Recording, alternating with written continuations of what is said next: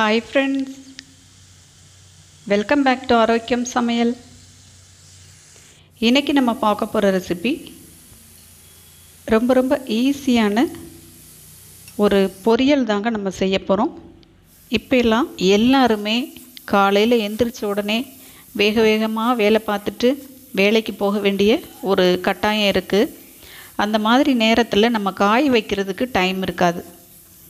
இப்போ டக்குன்னு வச்சுட்டு போகணும் அப்படின்னா நம்ம இந்த மாதிரி ஈஸியான ரெசிப்பியை நம்ம ட்ரை பண்ணி பார்க்கலாம். ஒரு பொரியலும் ரெடி ஆயிரும். அதே மாதிரி ஒரு ஹெல்தியான ரெசிப்பியாகவும் இருக்கும். இப்போ வாங்க வீடியோக்குள்ளே போய் இந்த சிம்பிளான ரெசிபி எப்படி செய்கிறதுன்னு பார்க்கலாம்.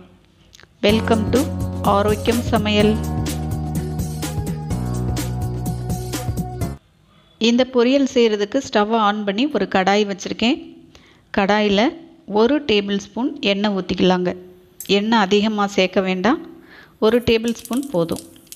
அரை டீஸ்பூன் கடுகு போட்டிருக்கேன். கடுகு பொரிஞ்சதும் ரெண்டு டீஸ்பூன் உளுந்தம்பருப்பு போட்டுக்கலாம். உளுந்து வந்து கொஞ்சம் அதிகமாகவே சேர்த்துக்கோங்க.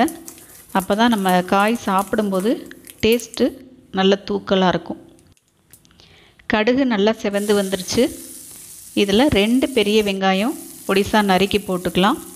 கூடவே ஒரு நாலு காஞ்ச மிளகாய் அதையும் இந்த மாதிரி பொடிசாக கட் பண்ணி போட்டுருங்க. கொஞ்சம் கருவேப்பிலை போட்டுக்கலாம். நம்ம சேனலை ஃபஸ்ட் டைம் பார்க்குறீங்கன்னா மறக்காமல் சப்ஸ்கிரைப் பண்ணிக்கோங்க ஃப்ரெண்ட்ஸ் இப்போ இந்த வெங்காயம் நல்லா வதங்கி வரட்டும். ஸ்டவ்வை சிம்மிலேயே வைங்க.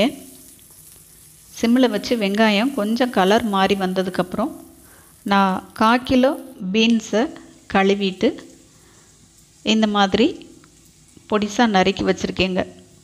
பொரிக்கிறதுக்கு கொஞ்சம் பொடிசாகவே நறுக்கிக்கோங்க. இப்போ இந்த பீன்ஸை வெங்காயத்தோடு சேர்த்து ஒரு அஞ்சு நிமிஷம் ஸ்டவ்வை சிம்மில் வச்சு வதக்கி விட்டுறலாங்க. காயை வந்து எண்ணெயில் வதக்கிட்டு நம்ம செய்யும்போது தான் டேஸ்ட் வந்து நல்லாயிருக்கும் இப்போ ஒரு அஞ்சு நிமிஷம் நல்லா வதங்கட்டும். இது வந்து ரொம்ப ஈஸியான ரெசிப்பிங்க இது யார் வேணாலும் ட்ரை பண்ணி பார்க்கலாம். கண்டிப்பாக ரொம்பவே யூஸ்ஃபுல்லாக இருக்கும். இப்போ இதில் ஒரு கால் டீஸ்பூன் பெருங்காய பவுடர் போட்டுக்கிறேங்க. பெருங்காய பவுடர் மறக்காமல் சேர்த்துக்குங்க. நம்ம ஹெல்த்துக்கு ரொம்ப நல்லது. இப்போ இதையும் நல்லா வதக்கிட்டு கொஞ்சமாக தண்ணி ஊற்றிக்கலாம் தண்ணி வந்து நிறையா ஊற்ற வேண்டாங்க. ஒரு டம்ளர் மட்டும் ஊற்றினோம்னா போதும். காய் வந்து ரொம்ப குழஞ்சிருச்சுன்னா பொரியலுக்கு நல்லா இருக்காது. சாப்பிடும்போது ஒரு மாதிரி தண்ணி தனியாக சொத சொதன் இருக்கிறது மாதிரி இருக்கும். முக்கால் பங்கு காய் வெந்திருந்தால் தான் பொரியல்லாம் டேஸ்ட்டாக இருக்கும். இப்போ ஒரு அஞ்சு நிமிஷம் காய் வெந்துருச்சு. பாருங்கள் நம்ம சேர்த்துருந்த தண்ணி எல்லாமே நல்லா ட்ரை ஆயிருச்சு பாருங்கள் காயும் நல்லா வெந்துருச்சு. இப்போ மறுபடியும் தீயை கொஞ்சம் வேகமாக வச்சு ரெண்டு நிமிஷம் வதக்கிடுங்க இப்போ வந்து நம்ம உப்பு போட்டுக்கலாங்க.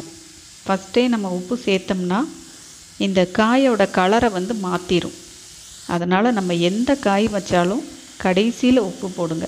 அதுதான் நமக்கு பார்க்குறதுக்கு நல்லா லுக்காக இருக்கும். காயோட கலரும் மாறாது. இப்போ நான் ஒரு அரை டீஸ்பூன் சீரகம் போட்டிருக்கேங்க. சீரகம் சேர்க்குறதுனால நல்ல வாசமாக இருக்கும். நம்மளோட உடம்புக்கும் ரொம்ப நல்லது.